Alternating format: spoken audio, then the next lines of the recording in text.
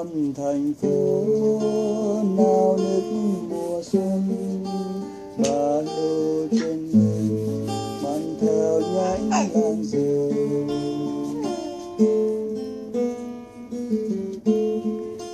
Có người chiến sĩ áo vương bụi đường xa, đi giữa dòng người qua phố phường đông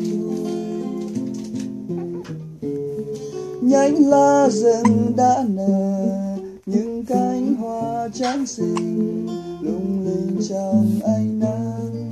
Hoa tươi như nụ cười trên đôi môi của anh.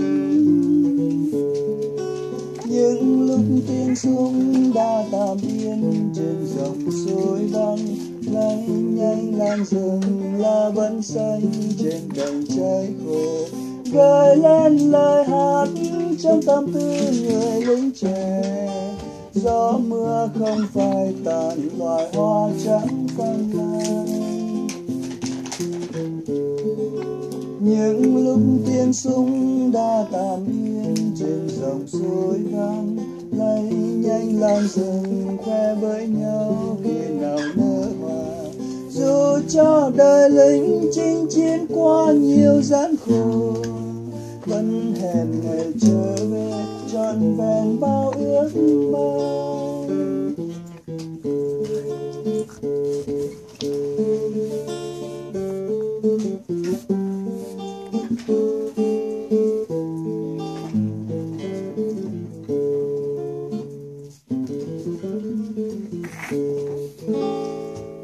Về thăm thành phố nao nức mùa xuân chân đơn sơ nhánh lan rừng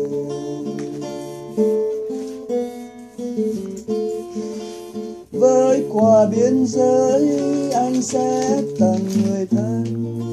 Anh bắt nụ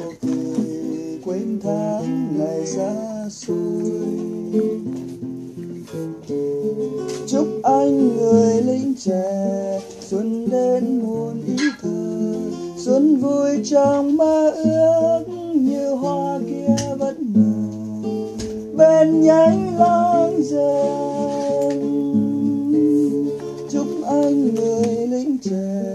Xuân đến muôn ý thơ xuân vui trong mơ ước như hoa kia vẫn nở bên nhánh